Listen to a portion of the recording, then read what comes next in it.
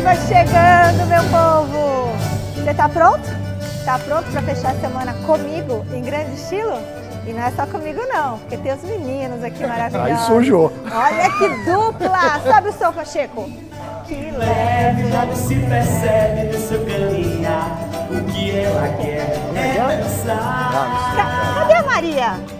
A Maria tá na redação, mas a Márcia, a nossa secretária, vai trazer a minha filha aqui pro estúdio já já. E o nome dela? Não sei se é Beatriz. Não sei se é Gianella. Ah! Hoje tem Alex Miller aqui, tem Alexandre Silvestre. É a primeira vez que essa Não, não, não, não, não, não. Dupla choque rei. Dupla eletrizante do Super Gênios ativar aqui. É, super Gênios ativar. É gênios ou gênios? Gênios. Gênios. Hoje a gente vai falar sobre a notícia bombástica do Corinthians. Tem bomba, Pacheco, também, ó? Laranja mecânica, vem aí. É isso mesmo. Boa, Timão! Acertou! Acertou com o holandês Memphis Depay. Você vai conferir também como que foi o treino de hoje do Coringão, que abriu as portas da esperança para a imprensa. Oi. A gente vai falar ainda sobre o jogo da seleção brasileira contra o Equador. Hum, a gente vai dar palpite aqui, hein? E também é dia da entrevista exclusiva que Alexandre Silvestre fez com Flaco Lopes. Parabéns, Silvio. Muito legal. Tem ainda as punições da briga entre Vocês São Paulo e Palmeiras. E vai ter aquele áudio do VAR, aquele áudio polêmico. Saiu! Saiu o VAR! Aquele- Do se- Fluminense, São contra São Paulo. Botou a mão na bola, não botou? O que Lambança será? Oficializada. jogo. Lambança oficializada. O que, que eles falaram no áudio? Você vai ver aqui. Antes, dicas. Beleza, a gente está de volta e eu quero mostrar para vocês Que esse bonito, livro maravilhoso do Bonito, centenário do Juventus. Glórias de um moleque travesso, a história do Clube Atlético Juventus, do Ângelo Eduardo Agarelli, Fernando Raso Galupo e Vicente Romano Neto. É um livro lindo, eu até tirei da, do plástico, porque ele conta a história desses 100 anos do Clube Atlético Juventus, é o livro oficial. E domingo no Mesa Redonda, vamos dar de presente, tá? Então vai ter presentes muito especiais esse domingo, centenário do clube. Ah, tá tendo uma exposição, inclusive, do meu Juventus, lá no Shopping Moca, tá? Até o dia 15 de setembro, gratuita. Até o dia 15 de setembro, no horário de funcionamento do shopping, das 10 da manhã às 10 da noite, tá? Domingos e feriados, das 2 às 8. Até 15 de setembro, exposição do centenário do Juventus no Shopping Moca, Belo. Eu vivo nesse shopping, do lado de casa. O galo, o, o, o Que Galu- do o- Sobe, Sobe. O Galupo tá aí, né? Tá, é um é dos, é um dos historiadores do. Palmeiras. É, é, aliás, o, o Fernando Galupo, que é um dos autores, ele é o historiador do Palmeiras, trabalha isso? na, na- no departamento de comunicação e foi agredido pelo Sabino no Choque Rei, que tomou cinco jogos, que nós vamos falar daqui a pouco. Calma, É, calma, mesmo. Alex, calma. Daqui a pouco. Hoje, às Foi 10 da noite, o Brasil raspão. enfrenta o Equador pelas eliminatórias da Copa do Mundo. Pois é, Dorival Júnior testou dois times nos últimos dias e a gente vai ver agora a provável formação do nosso esquadrão. Alisson no gol, Danilo, Marquinhos, Gabriel Magalhães e Guilherme Arana, André, Bruno Guimarães e Lucas Paquetá, Luiz Henrique ou Hendrick, Rodrigo e Vini Júnior.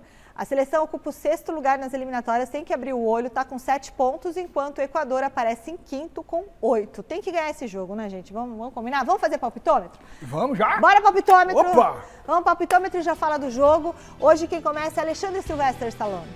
O Brasil ganha de 3 a 1 e vai subir para o quarto lugar nas eliminatórias, porque é um confronto direto, inclusive, com o Equador.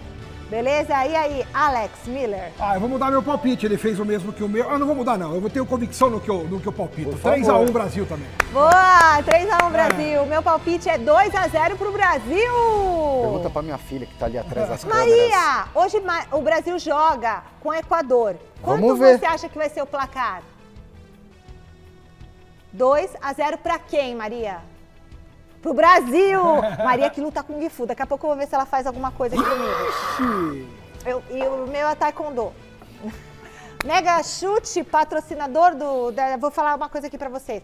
Vou, vou vir aqui, ó. Vou sentar aqui agora, vou sentar bonitinho pra eu dar um recado.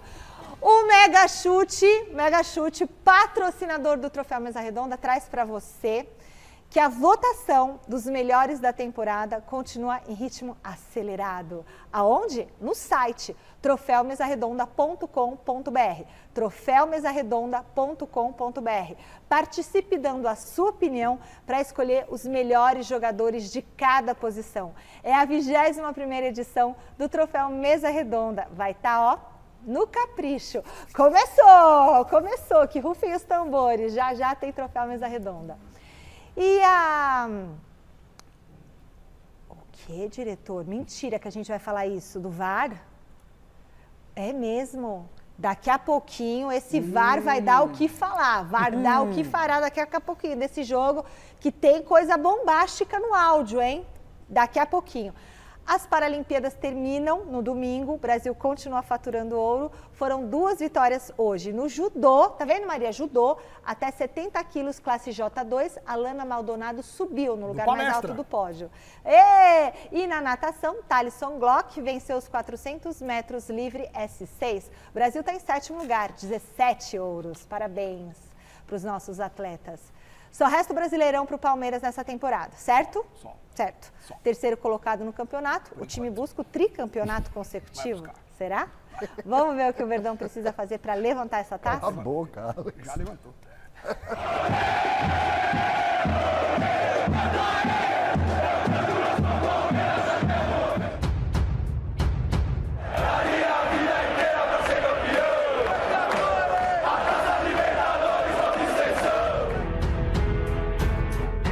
obsessão da Libertadores ficou para 2025.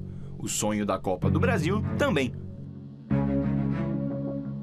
Agora, o foco do Palmeiras para que a temporada não termine com um gosto amargo é o Campeonato Brasileiro. Com certeza é, fica um gosto amargo nessas competições que passaram, que fomos eliminados, porque o Palmeiras quer brigar por tudo. Em terceiro lugar na tabela, o Palmeiras tem 47 pontos, 3 a menos que o líder Botafogo. Se a gente for comparar com as duas últimas edições do Campeonato Brasileiro, em 2023 o Palmeiras tinha 44 e ocupava a quarta colocação na tabela. Já em 2022 era líder absoluto, com 51 pontos. Agora, você quer saber uma coincidência dessas duas ocasiões? É isso mesmo, o Palmeiras terminou o ano campeão brasileiro. Mas em 2024 o Alviverde ainda não depende só de si para conseguir o tricampeonato. Com 13 jogos para serem disputados, o Verdão precisa torcer por tropeços de Botafogo e Fortaleza. Além, é claro, de fazer a sua parte nos confrontos diretos contra essas duas equipes. Grande força do Palmeiras pode ser justamente as eliminações que sofreu no mês de agosto. Isso porque agora tem um calendário com tempo para treinar e descansar. Vale destacar que o Palmeiras é o único dos 11 primeiros times do Brasileirão que só joga uma competição. Uma prova de que isso pode ser uma vantagem são os resultados do Verdão desde a queda na Libertadores.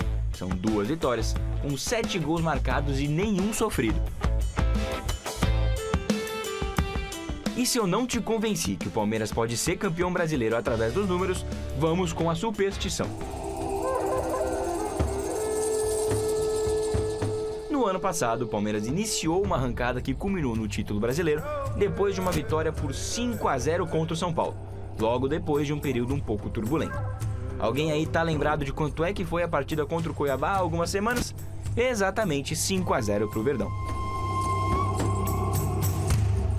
A verdade é que, seja pela mística, sejam pelos números, tá muito difícil de adivinhar quem vai ser o campeão brasileiro. Será que o Palmeiras vai conseguir o tricampeonato? Ou vai aparecer alguém e acabar de vez com o sonho do Verdão?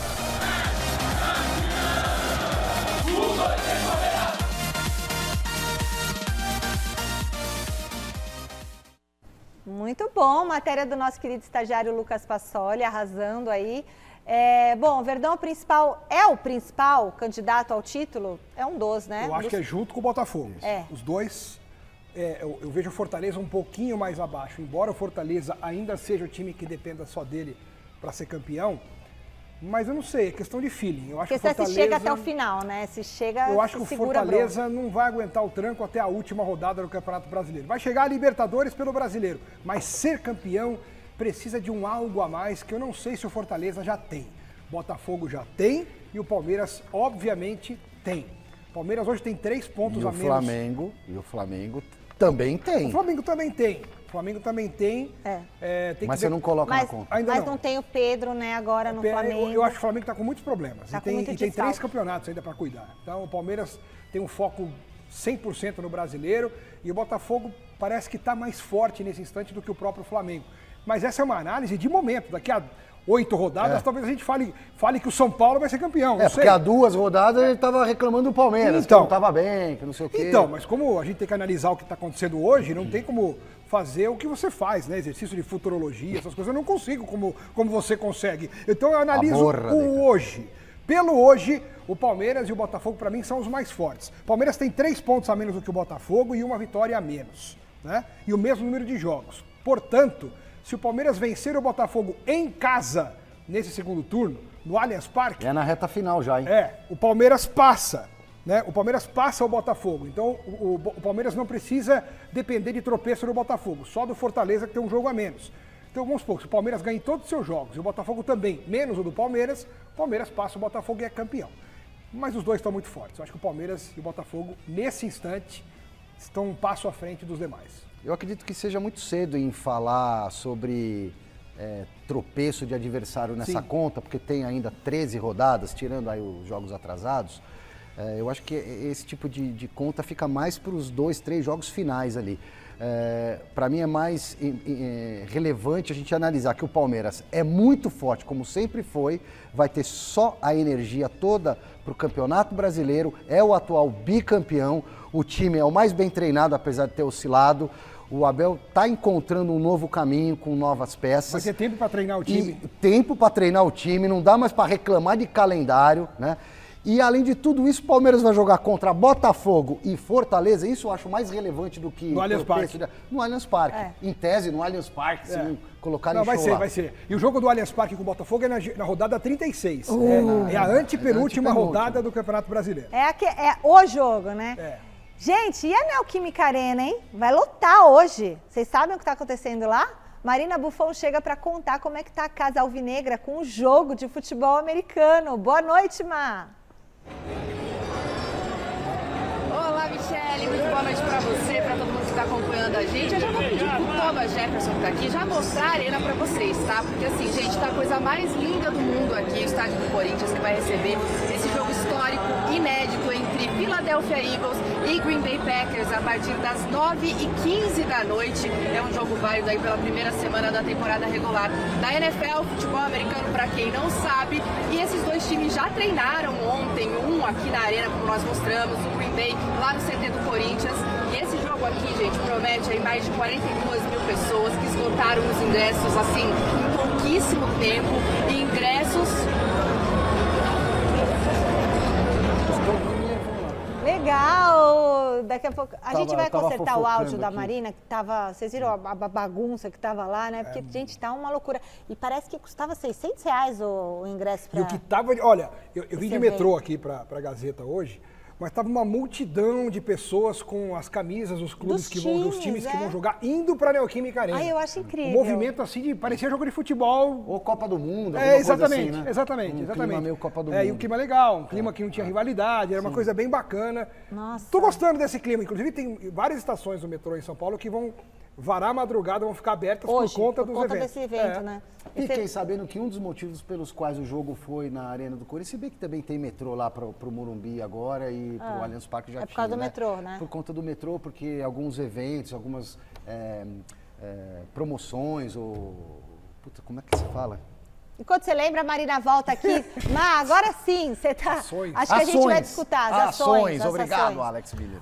Tá contigo, Ma? Sim, eu não sei em que momento Agora sim, me estão querendo me calar, mas não vou me calar porque é um jogo histórico. Vamos mostrar de novo então aqui todas as, as adaptações da Neoquímica Arena para receber esse jogo histórico entre o Philadelphia Eagles, Green Bay Packers. Vão se apresentar a partir das 9h15 da noite. Vai ter show do intervalo. Quem vai se apresentar aqui é a Anitta, estrela internacional aqui brasileira, que faz shows em todo o mundo. Vai também estar se apresentando aqui. E a gente lembra que esse jogo teve os ingressos esgotados em pouquíssimo tempo. Sim, os ingressos foram caros mesmo, mas a galera que vai vir aqui vai ver um grande espetáculo, um grande show. É, se vocês podem ver aqui, ó, o gramado já está com toda a pintura das jardas, tem também as traves para os field goals, tem também lá atrás nas arquibancadas todos os assentos colocados, é onde fica é, o setor norte aqui da Neoquímica Arena, onde ficam as organizadas do Corinthians, pois ali também foram colocados cadeiras para as pessoas assistirem. A gente sabe que é um esporte diferente, que dura mais de três horas aí. A gente vai varar a noite aqui, mas tá todo mundo feliz de trabalhar, viu? Porque é um evento inédito mesmo. E a Prefeitura de São Paulo acabou investindo mais ou menos uns 30 milhões de reais para esse evento acontecer. Mas olha só, a Prefeitura também, junto em conjunto ali com a SP Tours, acabou dizendo que mais ou menos 338 milhões de movimentações financeiras aqui, de reais, né? Vão acontecer por conta desse evento, pessoas trabalhando direta e indiretamente, hotelaria, enfim, é de fato um evento que vem aqui para São Paulo, já faz tempo que estava tentando vir para cá. A NFL é uma liga que é, vai muito nesse negócio de expansão para outros países. Eles querem é, convencer, encantar outros países e esse é o papel aqui no Brasil também. Quem sabe, né, não vira um evento no calendário brasileiro. A gente já sabe que o ano que vem já está lá na Espanha, já tem um evento aí garantido também. Quem sabe 2026 não volta para cá, não volta para a Neoquímica Arena, tá certo? Ó, aqui a gente já vai começar a curtir. Vou pedir pro Thomas mostrar mais um pouquinho. A gente tá aqui mais ou menos o quarto andar. E olha aí, ó, para vocês verem mais ou menos como é que vai ser esse jogão. Ô, Má, lá nos Estados Unidos, quando tem esses jogos, eu nunca fui assistir lá, né? Eu tenho um sonho de, de assistir. Mas eles vendem um monte de coisa, né? Pipoca, hot dog. Cerveja pode, aqui não pode. E e vai ter, tem essas coisas assim aí na arquibancada? Como é que é? Ué, tem que ir do lado de fora pra pegar? Eu acredito que vai, que vai, vai ter poder tudo. Pode lá, o baldão de pipoca, agora, o hot dog, porque eu queria comer tudo. Eu, Eu queria li em algum comendo. lugar que eles iam liberar cerveja e tal, agora não tenho certeza. Cerveja, não. tem, Má? A Má vai responder. Já, já que você comentou isso, Mi, vai ter sim aqui para vender comida. A gente, inclusive, na parte de mídia, olha, tem um banquete bem gostoso. Mas o pessoal já tô vendo com lanche, com pizza, refrigerante. Tem cerveja, mas eu vou ficar devendo se é com álcool ou sem álcool. Vamos mostrar mais um pouquinho enquanto eu vou falando aqui. O pessoal tá todo uniform- uniformizado, com camisa do Green Bay, com camisa dos Eagles. E também estão sendo vendidas aqui roupas da NFL. Lá no Parque Vila Lobos também está acontecendo uma ação. É igual aconteceu com as Olimpíadas que a gente foi, é, para fomentar de fato esse esporte, que inclusive o flag football vai estar nas Olimpíadas de Los Angeles em 2028. Então bora conhecer mais um pouquinho desse esporte, tá certo? E é isso, Mi. Mais alguma dúvida que você queira tirar por aqui? Não, obrigada, Má. Adorei. Depois você traz a reportagem completa pra gente conferir na segunda-feira aqui alguma no coisa do banquete Esportiva. também para nós. É, o banquete. A Marina me deixou com vontade. Um beijo, querida. Bom trabalho para vocês aí.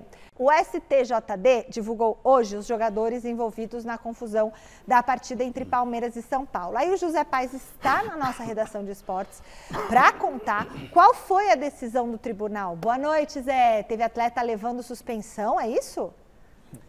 É isso, Mi. Boa noite para você, boa noite para todo mundo que está acompanhando aí o Gazeta Esportiva. Três atletas punidos aí pela terceira comissão disciplinar do Superior Tribunal de Justiça Desportiva aqui do Brasil. São eles: Sabino, zagueiro do São Paulo, tomou cinco jogos de suspensão aí por causa daquela treta que ele teve com o Galupo, né? O Fernando Galupo, que é historiador do Palmeiras, estava ali no túnel, vocês estão acompanhando imagens aí. O Nestor e o Zé Rafael, cada um tomou quatro jogos de suspensão. Esses jogos aí do Sabino, do Nestor e do Zé Rafael são para ser cumpridos no Campeonato Brasileiro especificamente, não tem nada de Copa do Brasil. Esse jogo aí que vocês estão acompanhando, essa treta, aconteceu no Choque Rei do último dia 18 de agosto, né? Jogo que aconteceu lá no Allianz Parque. O Luciano teve a denúncia contra ele arquivada, o Luciano fez o gol ali do São Paulo, foi na bandeirinha, chutou a bandeirinha, depois tomou um segundo amarelo, foi expulso, teve a denúncia contra ele arquivada. O Anderson Barros, o homem forte do futebol do Palmeiras, tomou um gancho de 15 dias, porque acabou dizendo ali que o, Rafael Claus, o árbitro da partida, era tendencioso, aquela coisa, arbitragem vergonhosa. Tomou 15 dias de suspensão. Já o João Martins, que é o número 2 aí da comissão técnica do Abel Ferreira, foi expulso nesse jogo. Tomou três jogos de suspensão, vocês vão acompanhando aí as imagens. E o Palmeiras tomou uma multa de 20 mil reais, porque parte da torcida entoou cantos homofóbicos nesse jogo, né, contra o São Paulo. Então o Palmeiras tomou uma multa de 20 mil reais. Palmeiras e São Paulo foram multados cada um em 10 mil reais, exatamente por toda essa confusão aí. O Sabino, o Nestor e também o Zé Rafael, eles foram enquadrados no artigo 254A, 254A do Código Brasileiro de Justiça Desportiva, que diz exatamente aí de uma conduta violenta no campo de jogo, ali nas imediações do campo de jogo. Então essas foram as punições, todo mundo punido. Luciano teve a sua denúncia aí arquivada e agora segue a vida, lembrando que os clubes podem recorrer dessa decisão do STJD. E hoje, ainda há pouco, faltando 10 minutinhos para começar aqui o Gazeta Esportiva, tivemos então a liberação do áudio do VAR. A CBF liberou o áudio do VAR do jogo entre Fluminense e São Paulo, que aconteceu no último final de semana, no último domingo, lá no Maracanã, polêmica danada. No primeiro gol do Fluminense, para lembrar aí a galera que não está se lembrando direitinho do que aconteceu. Gol do Cauã Elias, né, jogador do Fluminense abrindo o placar naquela ocasião. Mas naquele lance teve uma polêmica danada, porque no entrever ali Caleri, um jogador do Fluminense, a bola segue, o árbitro diz que deu falta, depois diz que deu vantagem, o Thiago Silva bota a mão na bola para cobrar uma suposta falta, depois confusão generalizada. Então vamos ver o que, que disse o árbitro desse jogo, Paulo César Zanovelli, junto com a cabine do VAR para decidir o que, que seria feito. Foi mão do Thiago Silva? A mão interferiu na jogada? Não interferiu? Vamos conferir então aí toda essa polêmica com o áudio do VAR que foi liberado ainda há pouquinho antes do início do Gazeta Esportiva. Pode rodar. Está ouvindo o Guilherme Zanovelli? Escutei! Ele parou, bateu a falta! Com a mão. Cobrou. Colocou no chão, bateu correto. Tá, beleza, obrigado. Ok, essa é a descrição que o Zanovelli, você me falou que você deu vantagem, e o que o Guilherme falou com você, que ele parou a falta e cobrou, ok? Ok, você quer que eu vou aí ver para poder acalmar então, aqui? venha cá, venha a revisão para você decidir essa sua decisão. A gente vai mostrar a falta ou Mostra a mão? falta, início da falta. Eu, eu quero ver! Eu quero ver, calma! Eu quero ver! Eu quero ver, calma! Eu quero ver, Cara, calma! Eu vou ver, calma! Essa é a melhor imagem, ok? Calma, tá fechado ainda. Calma, tá chegando ainda. Não tá aparecendo ainda não. Ok. Vai, deixa eu ver. Isso. Tem nada aqui, Igor. Pode, pode seguir, pode seguir. Calma que não tem nada, ele falou. Tem nada lá. O Tá Caleri vendo? segurando, falta clara. Falta clara, Ok. ok. Calma. Vamos continuar a jogada até o momento. Ok. Isso. Depois Eu ia dar vantagem. aberto. Jogador Dá o- para, ba- Dá o zoom na mão. para e bate a falta. Para e bate a falta, ok? Já ok, e eu faço E sinal depois de disso, escola. tudo normal. Deixa rolar, deixa rolar pra mim, deixa que eu falo agora, rola. Vamos seguir, eu dei a vantagem de seguir. É gol legal, tá, Igor? E agora? E agora? Ó, seguinte, a gente vai falar sobre toda essa polêmica já já. Gazeta Esportiva de hoje ainda tem essa polêmica do VAR, tem entrevista exclusiva com Flaco Lopes e todos os detalhes do acerto do Coringão com o Depay. Mas segura aí, antes tem dicas. Bom, gente, a gente prometeu, então agora está na hora de cumprir. Eu quero saber a opinião de vocês sobre todo esse áudio, essa polêmica desse áudio do VAR. Cara, o Paulo César Zanovelli, que é da FIFA, ele demonstrou estar completamente despreparado, primeiro para envergar esse escudo da FIFA, segundo para fazer uma mínima análise de um lance pelo VAR. Porque ele se deixou envolver pelos jogadores em campo, porque ele só sabia gritar, parecia um histérico eh, sendo atacado, não sei, por, por alguns leões ali, assim. "Ah, ah", Eles acham que gritando eles É, vão assim, colocar ordem no galinheiro. né? Despreparo É impressionante, cara. completo e total. Tira um cartão amarelo pro primeiro que chegar perto e dá, quero ver se os outros vão chegar. E ele, e ele não tem que ficar gritando para colocar ordem, ele tem que impor respeito com o cartão, com o seu posicionamento. Se um cartão não resolver, dá o segundo, dá o vermelho, vai chegar uma hora que ninguém vai encostar no árbitro. Esse é o primeiro ponto. Segundo, ele estava tão despreparado e tão fora de controle emocional por conta do assédio dos jogadores em campo, que ele foi ao VAR olhar o lance e com toda a paciência do mundo, a equipe do VAR estava tentando explicar para ele que a vantagem que ele deu era nula, porque o Thiago Silva coloca a mão na bola para reiniciar o lance numa hipotética falta que eventualmente teria sido marcada, e ele não deu nem ouvidos para a cabine do VAR. Tanto é que eles nem se empenharam tanto em fazer com que o Zanovelli prestasse atenção no que estava acontecendo. Eles explicaram, voltaram a imagem, colocaram. Olha lá, coloca a com mão na bola. Foi com a mão. Ele entendeu, o jogador do Fluminense, que É. foi uma falta pro Fluminense. E a bola era do Fluminense. Era mesmo. do Fluminense. Vantagem ou falta? Ok, Mas... era do Fluminense. Só que o, o- o árbitro, o Zanovelli, falou: não, foi vantagem. Foi vantagem, eu dei vantagem. Só que quando ele vai ao VAR e vê que o Thiago Silva põe a mão na bola, infelizmente, como ele não apitou a falta, o Thiago Silva não poderia ter colocado a mão na bola. É. Então o que que ele deveria ter feito pelo, pelo texto da regra? Foi ao VAR, realmente eu dei a vantagem, mas não tinha visto que o Thiago Silva colocou a mão na bola. Infelizmente eu vou ter que voltar ao lance da falta para o São Paulo, porque eu dei a vantagem no primeiro Anula momento. o gol do anula o gol do São Paulo. e dá a falta lá no ataque E dá São falta Paulo. para o São Paulo, porque o Thiago Silva pôs a mão na bola. Era isso que ele deveria ter feito. Era Acho- isso. E ele não fez. Que ele não sabe isso. É, eu entendo tudo que você está dizendo. Eu diria que eu assino embaixo, porque é a tecnicidade da, da lei. Vai Exato. fazer o quê? Tem que ser frio e calculista. Aliás, Ele mudou a lei, né? eu posso estar enganado, mas isso se configura erro de direito. Se o São Paulo quiser, ele vai, vai em cima. E o jogo pode ser anulado sim. Pode, pode. Eu acredito que seja pouquíssimo provável. Eu também. Mas é que o nível da arbitragem brasileira é o pior possível, o pior da minha vida. Eu tenho 51, eu nunca vi tanta baboseira de arbitragem, com esse VAR que mais atrapalha do que ajuda. Mas nesse caso foi É, culpa do árbitro. Nesse viu? caso foi culpa do árbitro. Agora. Então, erro de direito aqui, ó, é a aplicação incorreta de uma regra. É, então, como é que. como é- é- porque ele não cravou É diferente do... erro de fato, Ele que é a que- interpretação é, equivocada. Michele. Ele não interpretou Não, ele não equivocadamente, ele, ele, Ele viu que. errada. Mas ele fala no primeiro momento, eu dei vantagem. A partir do momento que ele sabe que o cara botou a mão na bola e cobrou É. a falta, ou seja, o jogador do Fluminense entendeu que foi uma falta, bateu rapidinho, deu meio que na mesma, digamos assim. A bola continua com o Fluminense. mas não tem essa gol. de dar na mesma. Agora, eu vejo assim, é, que seria, apesar da lei dizer que não, seria uma baita injustiça se anular o gol do Fluminense, cara, e dar uma falta de ataque lá pro São Paulo. Então eu vivo um dilema, graças a esse maldito Sim. VAR. Não, mas não é o VAR, é, eu é a sei regra que do jogo. Eu sei que a culpa nesse caso não é do VAR, mas se não existisse VAR, não teria esse tipo de análise microscópica. Ah, o cara relou ali, sabe? Ia passar batido. Zanovelli tem que voltar a bola apitar era- daqui a cinco anos. A bola Só era isso. do Fluminense, a bola tava com o Fluminense e teria sido falta de E tira o escudo da FIFA. Ô, Você José nervoso? Paz. Você me acha nervoso, Michele? Não, Nervoso? eu já tô acostumada com o seu estilo. É, José filha Paz. pediu acalmar ali, respirar. Por quê? Sua filha ela falou? Tava ali, aí eu trouxe a Maria. fez hoje o quê ela, Maria Calma, assim? pai, você tá nervoso. Cal- É, não, é estilo, é tipo só. Italiano, é só um filho, tipo. italiano. Maria, é só um tipo. Ô, José Paz, você tem informação sobre essa questão do VAR, é isso? É, nessa semana aqui no Gazeta Esportiva, o Alex Miller me perguntou se o São Paulo poderia tentar alguma coisa na CBF para anular o jogo. Eu até tinha dito que não, de forma alguma, e o São Paulo mantém essa posição. O que o São Paulo entende desse lance aí, erro de direito, aquela coisa toda, o São Paulo consultando ali toda a cúpula jurídica do clube, os diretores, enfim, todo mundo, é que se é, toda semana tiver um lance parecido, então todos os clubes tentarem aí um erro de direito, anular uma partida, remarcar um jogo, então não vai ter mais jogo aqui no futebol brasileiro.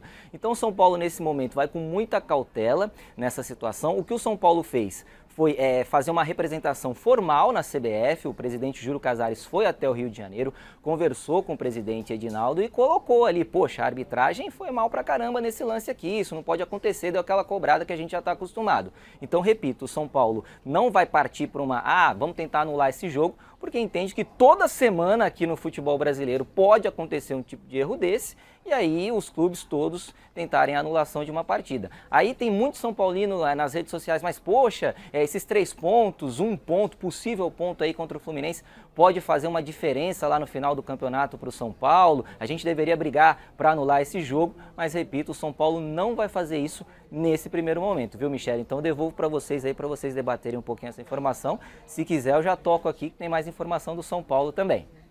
Pode falar, Alex, o que você Só, acha? só sobre isso, rapidinho, o, o Silver também tem um negócio para falar. O Casares está redondamente enganado. Para mim é muito mais uma posição política que ele está querendo dar uma de assim, sabe? Contemporizar o futebol brasileiro para não ferir o produto futebol, do que cuidar das coisas do São Paulo. Ele não está cuidando agora das coisas do São Paulo. Ele está sendo politicão e está deixando, hora de reclamar. tá deixando de Mas lutar pelo São Paulo. mas- tá deixando mas de lutar peraí, pelo Alex. São Paulo. Por que ele Quantas falando? vezes vocês pedem pra dirigente, e eu também, Não. pra dirigente não ser clubista?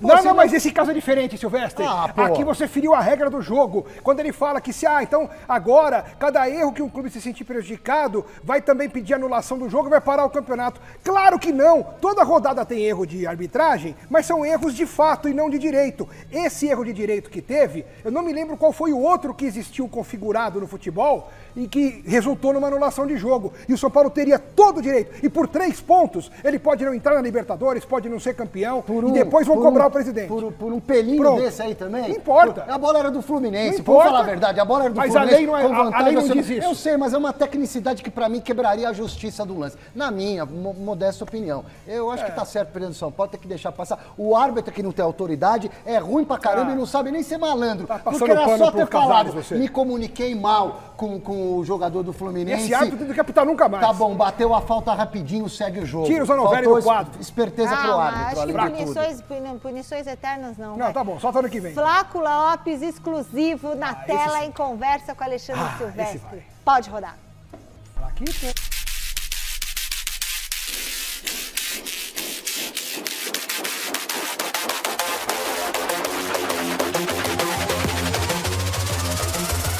Flaco Lopes está de bem com a vida, artilheiro do Palmeiras na temporada, 19 gols marcados no ano de 2024. Foi também o artilheiro do Campeonato Paulista, Palmeiras campeão.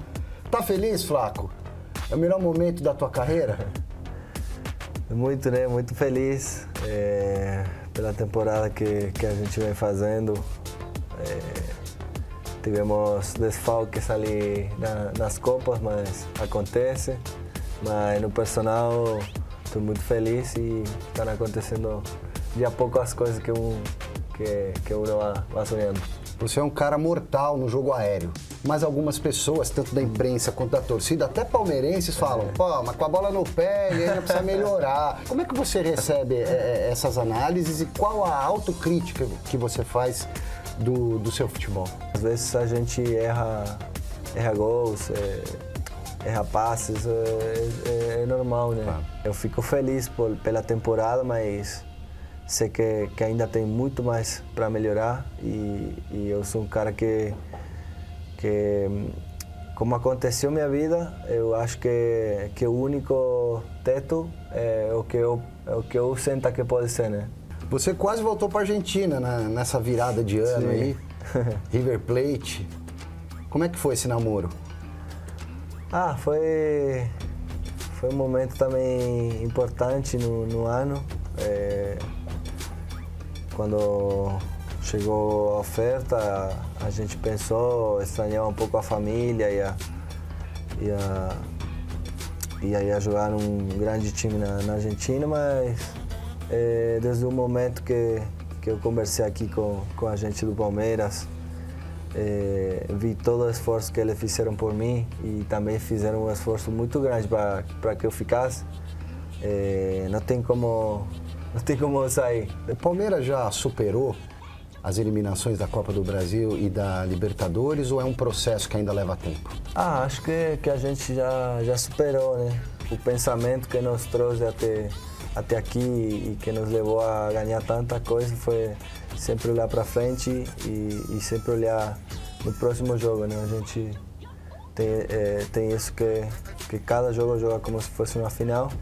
Vamos voltar a ser protagonista e a, já está brigando de novo pela Libertadores e pela Copa do Brasil. Outro dia teve um choque rei, muita rivalidade, um baita quebra-pau. Morre no campo. Como é que fica essa história aí? A gente, dentro do campo, vive com a mesma euforia que, que o torcedor vive, né? Tirando as doideiras, né? Que, Sim, que tem sim. algum torcedor. E depois do jogo, acho que teve algumas tretas ali, mas personalmente Você não... ficou mais na tua ali, na, É, na briga? personalmente eu estava muito feliz pelo resultado e, e ne- nem deu nem deu vontade de, de fazer alguma coisa, alguma loucura. Mestre, muito legal. Parabéns Olha pela que entrevista. façanha, porque conseguir entrevistar alguém do Palmeiras hoje em dia com exclusividade merece difícil. muitas palmas. Parabéns. Até outro dia, era todo dia assim, né? É a segunda do Silver já recentemente. Vamos estourar champanhe aqui. Valeu, pessoal do Palmeiras. Fernão, beijo grande pra ele.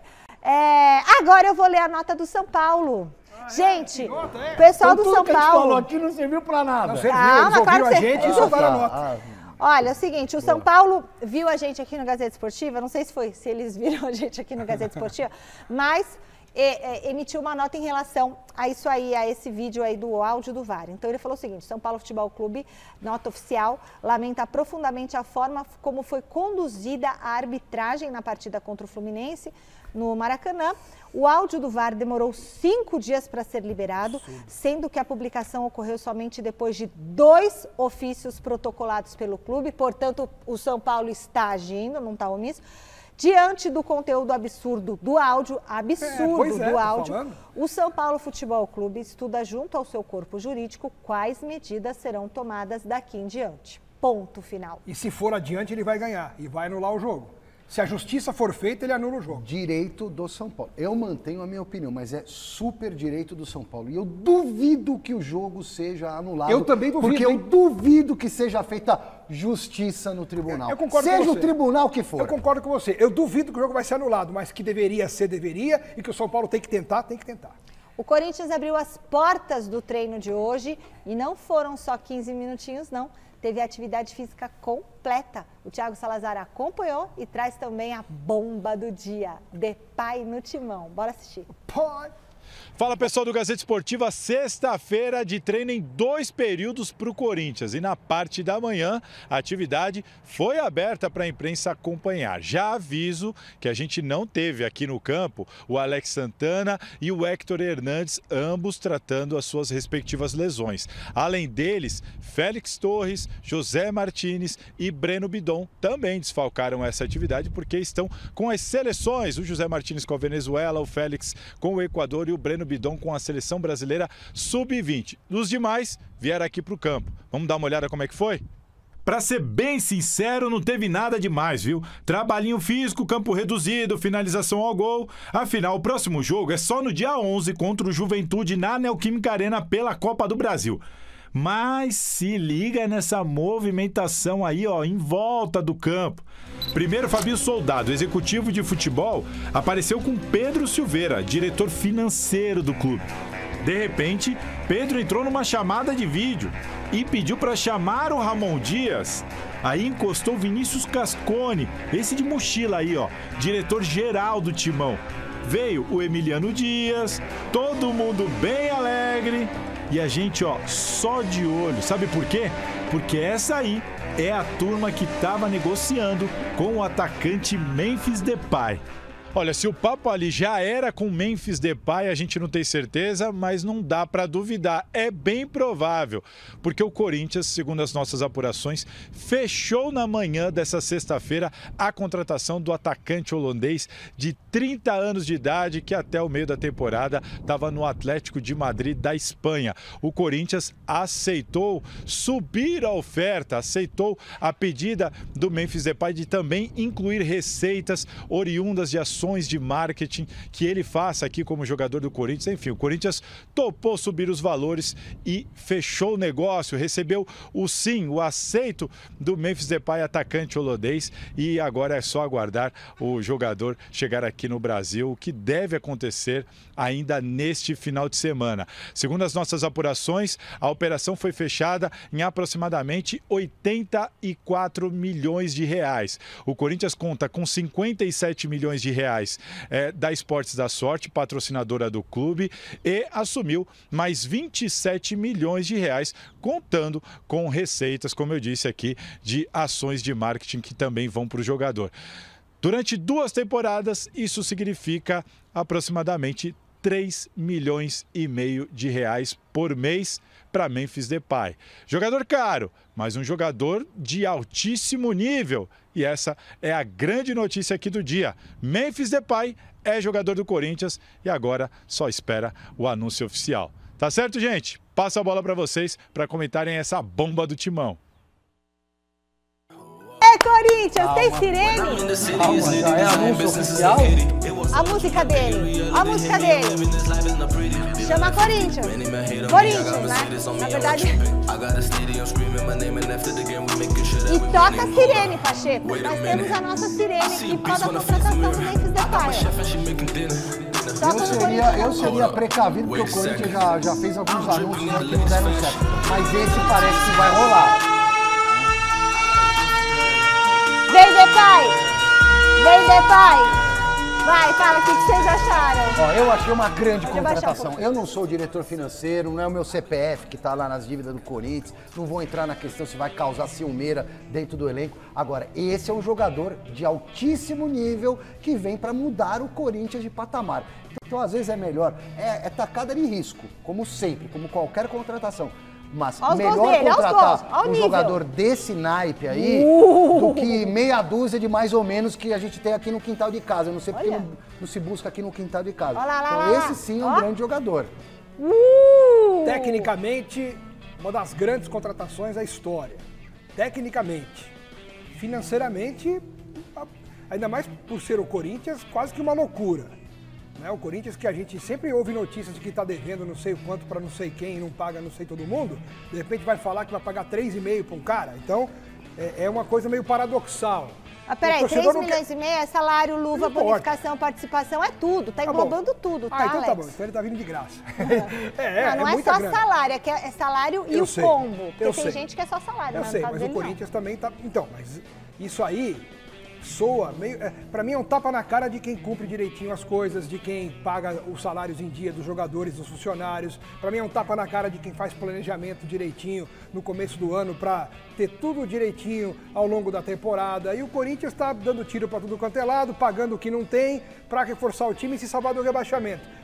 Pode se salvar? Mas os Pode. salários do Corinthians estão em dia, a Agora, mas quantas e quantas vezes ao longo do ano a gente não teve notícias Bom, mas se o, salário, coisas... se o salário tá em dia, traz o Depay. Tá, mas é, Mas é difícil, não é só o salário que conta, né? O Corinthians deve dito pra Deus o tudo mundo, isso, né? Ax, é Ah, o uma São Paulo grande... também, Palmeiras também Mas, deve. gente, Mas- mais ou gente vamos, ser- vamos ter um pouco de boa vontade com o Corinthians. Uma grande contratação, Mas pô. é, isso, isso eu falei. É uma, que, inclusive, Falei que é a maior da história. se der da certo, história. se der Eu acho certo, que é a maior depois se do ele faz Ronaldo, gol, não é? Ah, se ele salva ser. o Corinthians, se dá um título aí de Copa do Brasil ou de Sul-Americana. Sul-Americana e continua e vende camisa pra caramba, traz retorno financeiro. É. Então você pode, inclusive, recuperar esse dinheiro, tá? Então, Agora eu queria só nem dar um- tanto uma coisa, nem tanto Eu queria só dar um, um dado que é importante. Ele não é mais um menininho novo, Não, né? Ele 30 já tem anos. 30 anos. Na temporada 22-23, ele ficou 172 dias fora de combate por lesão devido a desgaste. E na última temporada, na atual, 23-24, ele já desfalcou os times em que ele estava, no caso, em 124 dias. Então Nossa. ele se machuca muito, fica muito tempo fora por lesão muscular. Então, de repente, você pode estar contratando uma bomba também no aspecto físico. Ah, só clube É um grande. quebra-cabeça. Lógico que é só que- clube grande. Ele é um jogador de Da ponta. seleção da Holanda. Então, não importa, quando ele entra, ele faz gol. Isso. Vamos confiar. Tomara É um jogador entre- de alto nível Claro. no futebol Aliás, europeu. sabe o que, que eu é gostei de dele? Porque essa Pô, música grande aí do. Corinthians e tal, e ele, ele, ele, ele é. Você não queria no Palmeiras, não, camisa nova? Segundo Corinthians, lá? Não sei. Esse aí eu não 5-7. Ele, ele- o Depay falou, porque vivemos por fé.